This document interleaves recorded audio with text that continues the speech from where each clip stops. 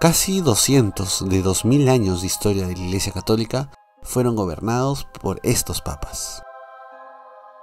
Paz y bien amigos, ¿cómo están? Yo soy Diego Du y estoy muy contento de estar con ustedes en un nuevo video y hoy exploraremos la historia de la Iglesia Católica a través de los papas que han tenido los pontificados más largos.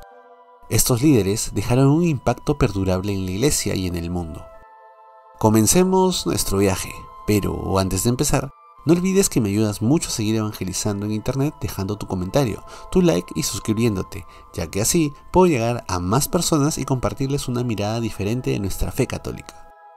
Déjame en los comentarios qué video es el que quisieras ver por aquí y con mucho gusto lo subo entre las semanas que viene. Sin más, empezamos con el top de los 7 papas con el pontificado más largo de la historia. Número 7 Pío VII. Pío VII gobernó la Iglesia Católica desde marzo de 1800 y falleció el 20 de agosto de 1823. Fue conocido por su papel durante el periodo napoleónico, donde enfrentó desafíos significativos, como la ocupación de Roma y las tensiones con Napoleón Bonaparte. Pío VII logró negociar el concordato de 1801 con Napoleón, que restableció la Iglesia Católica en Francia, pero las relaciones se deterioraron más adelante. Fue capturado y llevado a Francia por orden de Napoleón en 1809, donde permaneció prisionero durante cinco años.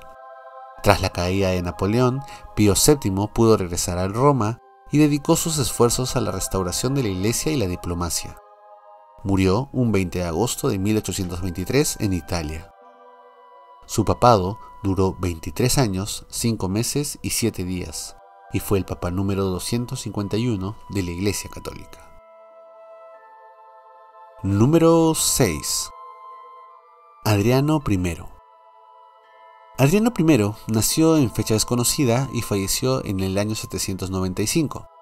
El Papa Adriano fue un líder destacado durante el Renacimiento carolingio en Europa. Durante su pontificado de más de 23 años, trabajó para fortalecer la autoridad papal y promover el arte y la cultura en Roma y más allá. Adriano se inicia teniendo que hacer frente a la invasión del rey lombardo Desiderio, para lo cual pidió, como su antecesor Esteban II, ayuda al rey de los francos, el recién coronado Carlomagno.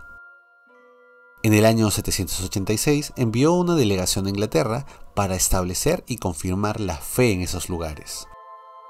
Durante su pontificado, Irene, madre del emperador Constantino VI, convocó al séptimo concilio ecuménico que se celebró en Nicea en el año 787 y que bajó la presidencia de los legados papales, restableció el culto de las imágenes condenando la iconoclasia y excomulgando a sus seguidores, con lo que se puso fin a la primera crisis iconoclasta, iniciada por el emperador León III, Elisauro, en el año 726. Adriano falleció después de 23 años, 10 meses y 25 días de papado, el 25 de diciembre del año 795 siendo enterrado en la Basílica de San Pedro. Fue el Papa número 95 de la Iglesia Católica. Número 5. Papa Pío VI. El Papa Pío VI nació el 25 de diciembre de 1717 y murió el 29 de agosto de 1799. Él fue líder de la Iglesia Católica durante uno de los periodos más turbulentos de la historia europea. Su pontificado, de casi 24 años, estuvo marcado por desafíos políticos y conflictos con las potencias emergentes de la época. Con su pontificado pudo reducir mucho de los costos excesivos que la iglesia gastaba y fue uno de los más importantes propulsores del arte, mandando a pintar murales, techos con arte cristiano y mandando a construir estatuas, vías, túneles y demás arquitectura que resalta hasta la actualidad. Su gobierno duró 24 años, 6 meses y 15 días y fue el papa número 250 de la Iglesia Católica. Número 4. León XIII. El Papa León XIII nació el 2 de marzo de 1810 y murió el 20 de julio de 1903, y es conocido por su pontificado de más de 25 años, en el cual promulgó la encíclica Rerum Novarum, sentando las bases de la doctrina social de la Iglesia Católica en el mundo entero. León XIII se preocupó desde el inicio de su mandato por mejorar las bases intelectuales del clero, y durante su pontificado significó un acercamiento de la Iglesia a las realidades del mundo moderno, centrándose en las necesidades humanas de la persona como la pobreza. León XIII gobernó 25 años, 5 meses y un día, y fue el Papa 256 de la Iglesia Católica. Número 3. San Juan Pablo II. Juan Pablo II nació en Polonia un 18 de mayo de 1920 y murió en el Vaticano el 2 de abril del 2005. San Juan Pablo II es recordado como uno de los papas más influyentes de la historia moderna. Su pontificado de casi 27 años estuvo marcado por su carisma, su compromiso con la juventud y su inalcanzable labor pastoral en todo el mundo. Fue también llamado como el Papa Viajero, ya que fue el primero en viajar a otros países fuera de Roma como visita pastoral, llegando a 104 visitas internacionales, logrando lazos sólidos entre el pueblo, el Estado y la Iglesia Católica, y que siguen muy vigentes hasta la actualidad. También tuvo un intento de asesinato y fue un incansable defensor de la tradición de la Iglesia, luchando directamente contra el comunismo y el marxismo. Su gobierno duró 26 años, 5 meses y 18 días. Fue el Papa número 264 de la Iglesia Católica. Número 2. Pío IX. El Papa Pío IX nació el 13 de mayo de 1792 y falleció el 7 de febrero de 1878. Es conocido por su largo pontificado de más de 31 años, el más largo de la historia moderna. Durante su papado enfrentó importantes desafíos, incluida la Revolución de 1848 y la pérdida de los estados pontificios.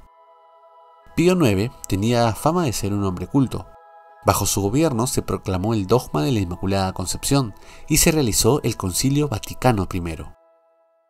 Su pontificado ha sido uno de los más largos de la historia y a su vez uno de los que tuvo que afrontar los problemas más graves. Él gobernó durante 31 años, 7 meses y 22 días. Fue el Papa número 255 de la Iglesia Católica. Número 1. San Pedro. San Pedro nació a finales del siglo I a.C. y murió en el año 67 después de Cristo. Fue el primer líder de la Iglesia Católica nombrado por el mismo Jesucristo como la piedra donde edificaría su iglesia. Él ha sido el primer papa, y con él inició una sucesión de papas que gobernaron ininterrumpidamente la Iglesia Católica hasta la actualidad, con el Papa Francisco, número 266 de la historia. Su martirio en Roma es un testimonio de su firmeza en la fe y su dedicación del servicio de Dios y de su Iglesia. El Papa San Pedro gobernó la iglesia entre 34 a 37 años aproximadamente. Fue el primer papa de la iglesia católica y nadie ha gobernado tanto tiempo como él. ¿Y tú? ¿Qué opinas? ¿Conocías alguno de estos papas? ¿Crees que alguno va a superar a Pedro? Déjame saber tu opinión en los comentarios. Gracias por ver este video, no te olvides dejar un comentario para saber qué video deseas ver y suscribirte para que YouTube te avise cuando comparto un nuevo video. Debajo te dejo mis redes sociales para estar más en contacto. Eso es todo por hoy, que Dios te bendiga y que la Virgen María te acompañe. Chao, chao.